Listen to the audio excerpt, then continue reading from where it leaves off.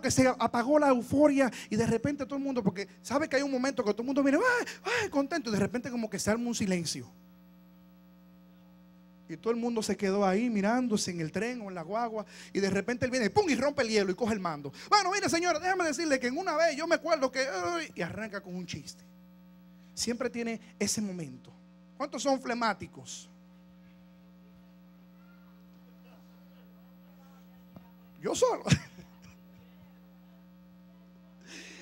Vamos a ver cuáles son las debilidades del flemático o el que le llaman el constante. El constante tiene un área débil. Y la primera área débil es que es bien obstinado. Si él dice que él lo va a hacer, aunque usted le diga que no lo haga, él lo quiere hacer. No, pero que mira que se... No, ya varón, no hay necesidad, lo vamos a dejar así. No, pero yo lo quiero hacer.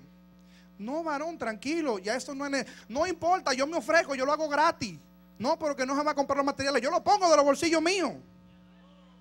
O sea, él es bien obstinado, él lo quiere hacer, no importa que le digan que no, él quiere lanzarse para adelante. Sí, ¿y qué importa que no? Yo lo pongo, lo que haya que hacer. Es una persona que a veces se pone a, indecisión y dice, mm, me lanzo o no, sí, bueno, ok, tal vez o no sé, bueno, quizá. Es bien indeciso, no sabe de repente que si hace o no hace.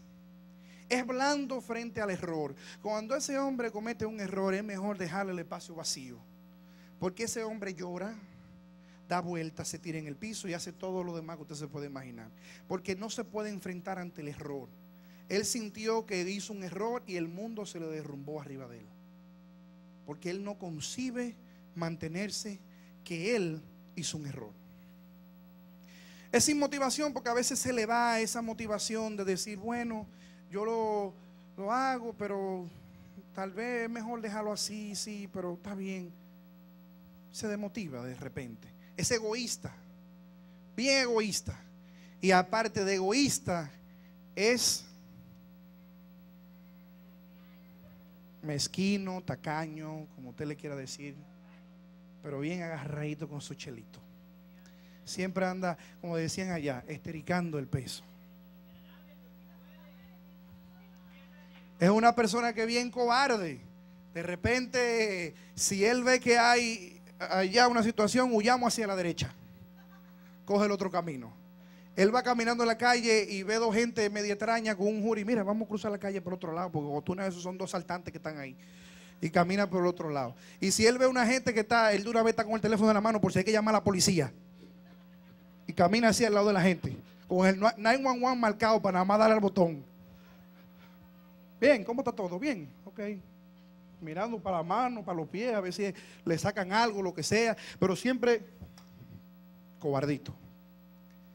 Es una persona ansiosa, ansioso.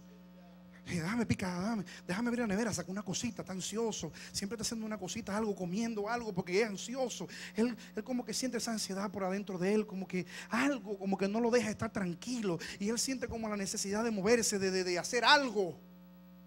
Mucha gente eh, entra en la obesidad porque se le entra una ansiedad y se comen eh, dos pastelitos cuando están aquí, pero cuando llegan a la casa tienen un arrocito con habichuela que sobró o un conconcito con grasita de, carne por arriba y así sucesivamente, unos platanitos que sobraron de la 12 o lo que sea y la ansiedad hace que la gente comience a comer, porque muchas veces como el cristiano no hace más nada, demuestra su ansiedad a través de la comida.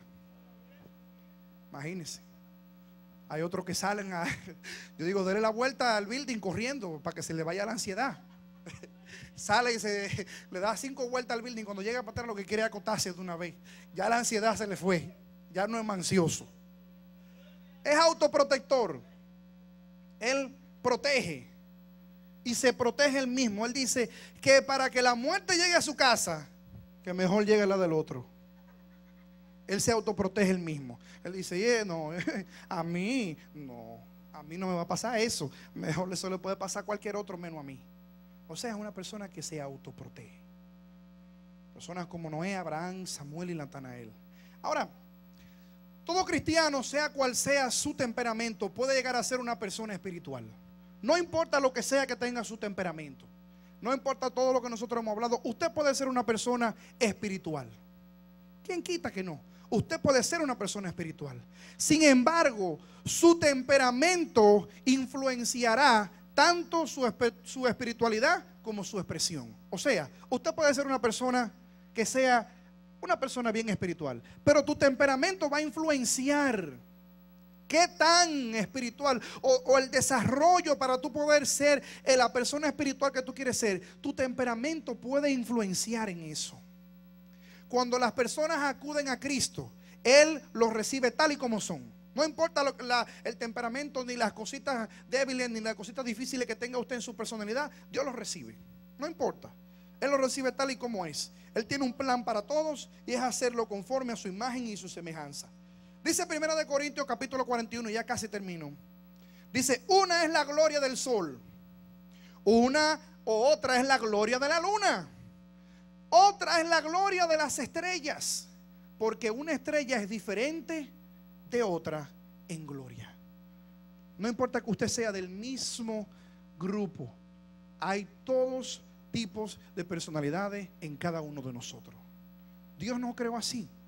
Dios no creo que aunque todos seamos estrellas, hay una que se diferencia de la otra en gloria. Aunque todos somos seres humanos, nos diferenciamos el uno de los otros en el tipo de temperamento. Ahora yo le voy a hacer una serie de preguntas sencillas. ¿En qué nos puede ayudar el conocer nuestro temperamento?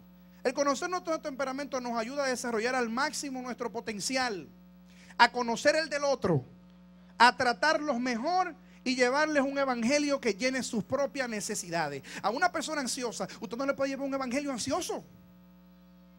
A una persona agresiva, usted no le puede llevar un evangelio agresivo.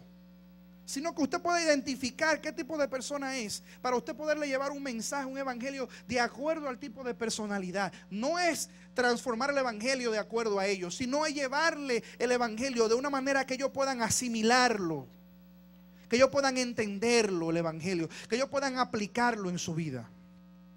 Ahora, si usted es una persona que es sanguíneo, usted ya se identificó en todo el mensaje y ya usted sabe que usted es un sanguíneo y usted se quedó calladito ahí porque no le gustó la segunda parte del sanguíneo, pero usted lo es.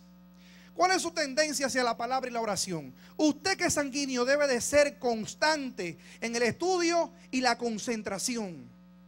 Debe de buscar más tiempo a solas con Dios. Si tú eres un sanguíneo, yo te recomiendo que trates de buscar más tiempo con Dios y que te trates de concentrar más en la palabra y en el estudio de, la palabra y la oración. Si tú eres un colérico, es importante que le des la importancia a la aplicación personal. No lleves siempre la palabra hacia los demás. Aplícatela a ti mismo. Debes dar